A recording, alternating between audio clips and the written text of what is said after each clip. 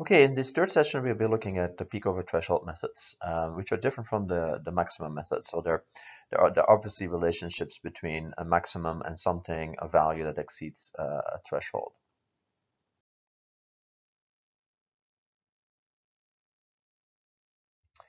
So we're now looking like at block data, but uh, or the maximum within a block. We just look at all the data. That's nice. We don't have to do this blocking uh, which leads to this issue uh, that we saw the uh, in the return levels that they're not very robust. So we just look at the threshold and we can, can, see how much this threshold is exceeded and how frequently it is exceeded. So we study the behavior of the distribution above uh, u. So and of course um, the, the, value of u will will matter. So uh, we'd like to get u again as high as possible. Uh, and we'll see that will be then in line with some limit distribution. But of course, as, as we take u uh, larger, then there will be less and less data above u.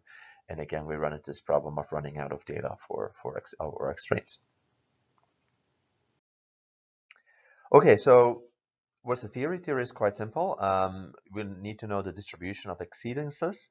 So if you define a certain threshold, uh, some some value, then we're interested in the exceedances. That means y plus u. So later we'll call this x, but let's call this now y plus u so that y is positive. So we're looking at a value above uh, above u. So we're interested in, uh, for that given u, we're interested in the cumulative distribution of, of, of x as a function of that y. So that means the probability that x exceeds a certain uh, threshold, given that uh, it, it, that that's the amount of exceedance above that threshold, given that you know it is above the threshold. So why do we have this conditional distribution here? And that make that kind of makes sense because later on we'll just uh, in the modeling we'll just um, take a threshold and look only at the data above that threshold, and so remove the data below the threshold. So we have now a condition uh, that is there for that. So that is simply, in, in, in terms of probability, that is simply a conditional distribution is, is the joint distribution divided by the marginal distribution. And this is what this here uh, reflects. So in terms of the theory, so um, if you indeed have a distribution of block maxima that asymptotes to the GEV, then you can also look at the probability of exceedance and then and asymptotes into uh, so BOI here, asymptotes into the generalized Pareto distribution. So that's the kind of the equivalent of the generalized extreme value distribution, but now for peak over thresholds instead of maximum. And so we again see this, this form returning here. This is a general Pareto distribution. Uh, but now uh, for, for these exceedances, and we note again that we have a parameter xi, the shape parameter. Uh, then we of course have the value u, which is the threshold, and then the sigma and the mu uh, are the are, are additional parameters. So this is now the equivalent theoretical distributions for uh, the this, for the exceedance over a threshold.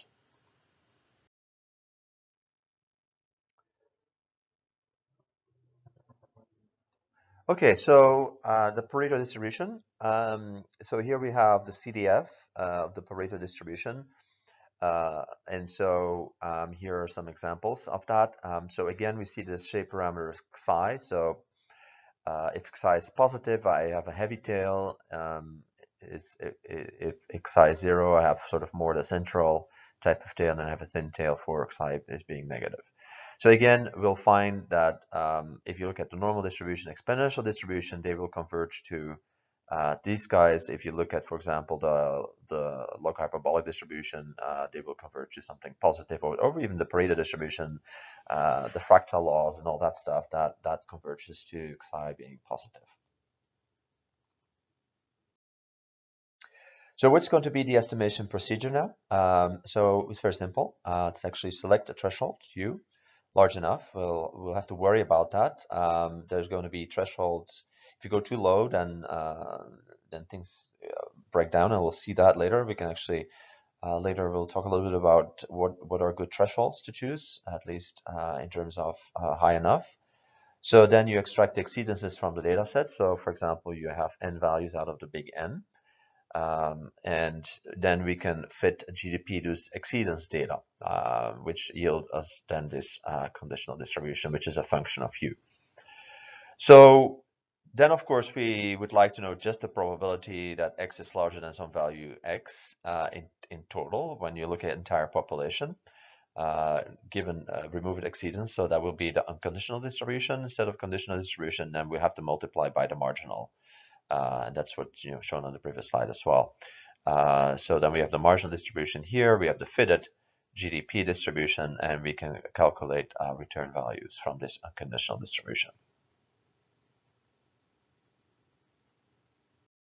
Okay, so now we can uh, also start looking at uh, return levels, just like we did with the block maxima. So here's the uh, generalized extreme value distribution in terms of the conditional distribution. Uh, so it looks a little weird here, but do mind here there's an x here and a u there. Uh, so the x has to be larger than u. So what's the probability of exceeding x when x is larger than u and given that I take all the data larger than u? So that is described by theoretically by this distribution. So the unconditional now uh, involves the, uh, the marginalization, which is this distribution here. So, so remember that in terms of return level, we have to sort of make uh, the following statement is that uh, define a level xm that's exceeded on average every m observations. So that's kind of the same thing we were discussing when we talked about uh, block maxima. And so this every m observations, this period is related to, to 1, uh, 1 over p. So we remember that P, uh, that um, T was uh, equivalent to 1 over P. So that means that um, if I look at that, um, then I'm going to equate this to this uh, 1 over T because this is a probability here. So this is the 1 over M. Uh, so now we have M instead of T. Uh, and I equate that to this probability, so I get 1 over that probability. So then we can work out uh, the quantile function. Uh, remember the quantile function, I have invert everything so that I just get x on the left-hand side.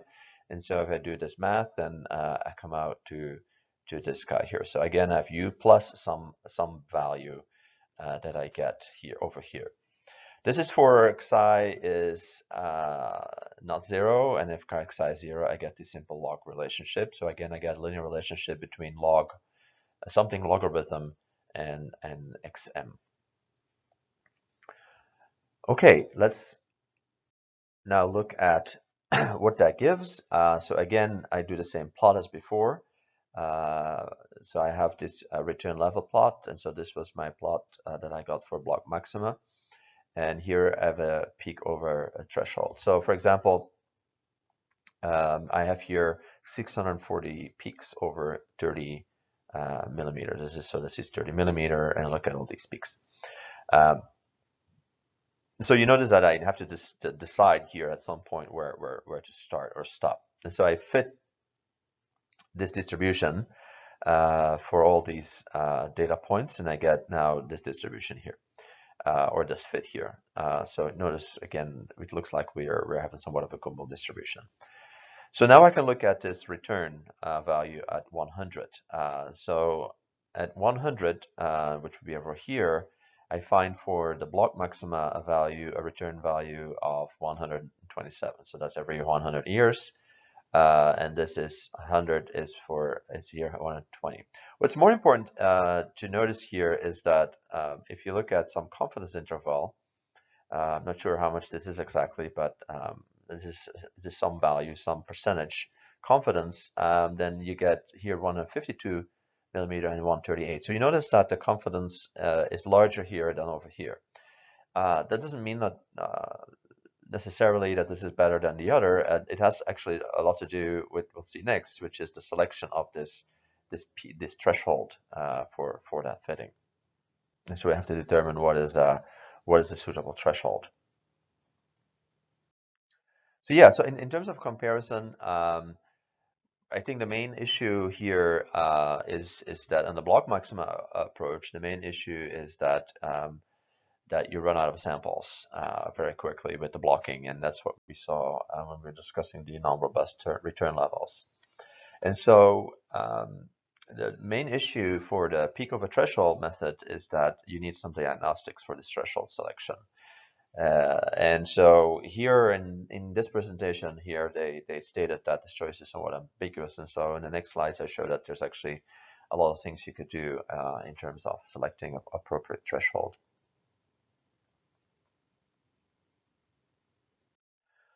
Okay, so let's discuss a little bit about this uh, diagnostic for threshold selection, uh, which which is quite important uh, for practical reasons, as we saw. So we don't want to take threshold too low.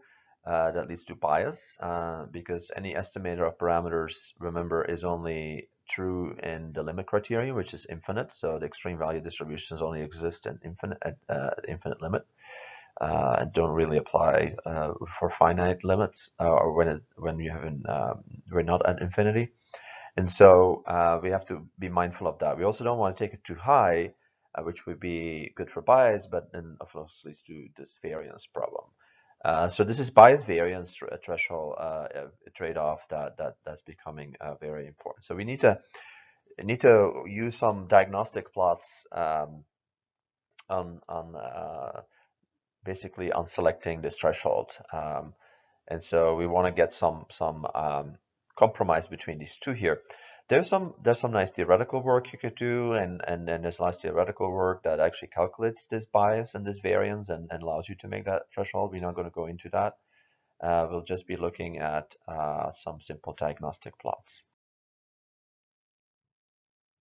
So one uh, way to look at it is to say, can I look at an estimate directly of Xi? Uh, so uh, previously we looked at uh, maximum likelihood methods and uh, and those are nice, but they're not necessarily quickly insightful uh, because it involves estimating all the parameters together. What if I just want to estimate Xi? Because Xi is really determining the shape of the extreme value distribution and whether you have a Pareto type or or some of the middle type, Gumbel type, or, or when you have negative xi values. So I'm really interested mostly in xi because uh, that's really determining uh, you know the estimation of the extremes. So in order to do that, uh, we're going to calculate uh, what's called the mean excess function, and actually the mean excess of the logarithm of the data. So now what I'm going to do is not calculate the probability, but calculate the average of the log here uh, of uh, the difference between log of x and, and u, given that x is, is, is larger than u. Uh, so then we're going to calculate this expected value of this log exceedance here. And we know that if u goes to infinity, uh, we can calculate directly from the extreme value distribution that this should this quantity should become become xi. So in order to, to present that in a, in a plot uh, empirically, um, what we'll do is excuse me, we'll be uh, ranking the data. So you have some, some, say your diamond sample here, we have big stone here, and we have small stone. So ranking of data um, is often uh, represented by, by the star here. So this is, uh, this is basically all the data now ranked into uh, something from small, the first one, into the large, the, the largest one. And so we're going to estimate then simply uh, for, for this data, we're going to estimate uh, this mean excess function, which is simply estimated by taking the data uh, above the threshold. So uh, there's some threshold that occurs at some point, let's say x to n minus k. So this is the essentially the k largest uh, observations that we're, we're looking at above some threshold. So I'm only looking now at the k largest uh, observations. So that's why I write also n minus k. Remember that n is my total sample size. And so um, what I get then is the estimator directly of xi is simply then this, this, this equation, right? So the condition is now gone because I only use the data above the threshold. And so now I can, you can notice that I can start uh, plotting xi as a function of k. And so uh, that will be done in the next slide. So here's an example of that. Um, so here's k, right? And so remember K large means the, the smaller stones and K high means the bigger stones because I rank from from uh, from the first uh, to the to the last one. So I kind of inverted that here. So this is K. Uh, so this is not N or, or one to N. This this counts down basically to the largest stones. Um, and so if I plot Xi, if I use Xi, uh, if I use a lot of data, you notice that Xi is starting to be high. And as I use more and more data, uh, less and less data, and size seems to drop down. It seems to converge to some level. So somewhere around here, 0.6, uh, 0.7. So what this suggests, of course, is this here you see the bias, right? Here, if I use too many data for extreme value estimations, and I get a xi that is too optimistic, I mean, it's too large. Uh, and I'd, I'd, like to have a large xi, right? Because remember, this is large stone. So, uh, and then as I decrease, then it seems like uh, I stabilize. And as I decrease too much, you notice start variance, right? So the estimating estimation starts to, to fluctuate a lot. So evidently, I'd like to be over here, but over here, I could get a lot of fluctuation. So it seems that there's probably some middle ground over here uh, that that comes out. And these are actually uh, there are bootstrap techniques, there are theoretical techniques that look at this, this trade-off, and essentially the trade-off between bias and variance is mean squared error. So we can minimize mean squared error, uh, for example, using bootstrap methods and, uh, and, and selecting that, that, that threshold. But it also can be done quite well visually. You can see that any threshold selected in this area would be, would be pretty good. Another uh, same kind of way of looking at the same thing, but now focusing only on Pareto distributions, um, or specifically on Pareto distributions, the Pareto quantile plot. So Pareto quantile plot is simply uh, investigating whether or not you have a Pareto distribution. The Pareto distribution is, is a simple case of, uh, of the general extreme value distribution. So now uh, we'll be plotting uh, the logarithm minus the logarithm of this here. So remember this minus log of 1 minus p J are the are the the J largest uh, um, essentially uh, values you sorry J counts down towards the extremes. Let's say so. If I have the largest two extremes, then that would be J is two. So this is basically this 1 minus p here. And so I, have mentioned before in previous presentation that this minus log of 1 minus p is going to occur a lot. And that is what we see here. So if theoretically, if, if, um, if I plot this versus uh, the logarithm of the largest observations. So this is j largest observations. Uh, then so these are the observations, uh, the logarithm. So here we're looking at stones um, uh, of substantial size, right? This is in the, in the hundreds and thousands uh, potentially. So we have here a number of stones that have very high carat value. This is size distribution, so this is in carats. Um, so we get uh, these two large stones here seems to be the same uh, value. So, uh, so if I plot that, um, I get this, this, this uh, theoretically, I get a straight line when I go to infinity. So again, if I go larger and larger, then I get this plot. But you notice also already that it seems to be converges towards a straight line uh, at some particular uh, level or threshold here, which is uh, 10 to the minus 1, so maybe 0.1 carat. Um, and, and then I can fit that again at K is 285. I get a fit uh, at that level and I can estimate the extreme value index, which is positive. So, um, and also this plot is only uh, valid for positive values, for positive values of xi.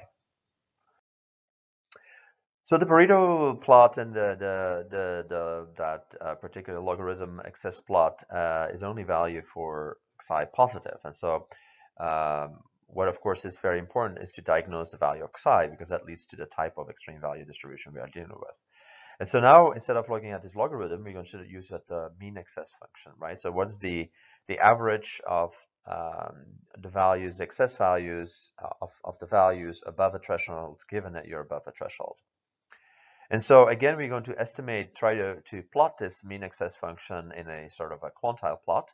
And so to do that, we have to calculate uh, what that function is. And so um, theoretically, uh, we can again uh, derive that, uh, well, if you want to calculate this mean excess function, uh, then I can calculate that simply by, uh, you can calculate by an integral if you're looking at the PDF, but we don't have the PDF. So we, we calculate directly this mean excess function using the quantile functions. Remember the quantile function is uh, is this is basically the inverse of the distribution function.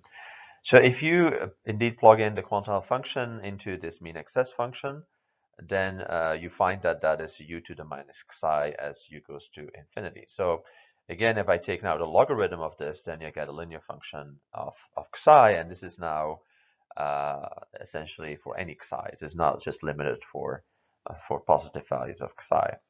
So again, I would be looking at minus the log of 1 minus p. This is basically this, this thing here. Uh, and plot that against uh, the logarithm uh, of, of this uh, mean excess function, which is now without the logarithm. So this is the threshold. This is the value of, of, of the threshold. And this is uh, the average above that threshold. So I'm only looking at the data above that threshold. That's why I only goes to J. I use the J highest values and not all the values. So if you apply that a couple of diamond data sets, you see something really interesting. Um, first of all, you notice um, that this is the mean excess function for one data set.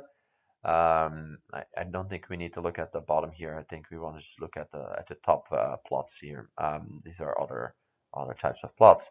So if you look at the top plots here, we have two cases. Uh, one case, you notice clearly that uh, xi is positive. So again, these are diamond uh, um, these are diamond values. Uh, I notice, sorry, these are um, logarithm. Um, sorry, these are mean excess uh, of that. And so um, here uh, above the threshold, uh, so here we see um, um, a linear relationship occurring. and so that indicates quite heavy tail. While in this other diamond data set, we notice that uh, it starts to increase, but then it starts to level off. So that indicates uh, more of a Gumbel type distribution. Okay, that uh, sums up uh, what we've been doing with peak over threshold uh, method. So in in, um, in summary, uh, we know that we've shown that um, peak over threshold, we get similar extreme value distributions for maxima. So there's this this shape parameter xi uh, that's important to be estimated. Uh, the, the difference with the peak over threshold method and the maxima is that we get more data, but more data could lead potentially to bias. And so we have to worry about the selection of the threshold above which we're going to fit our models because that will affect the amount of bias versus the amount of variance that we um, we have. And so in order to do that, it's it's good to make a few diagnostic plots to see where would be a good, uh, and even by eyeballing, you could do that, where would be a good threshold to be selecting.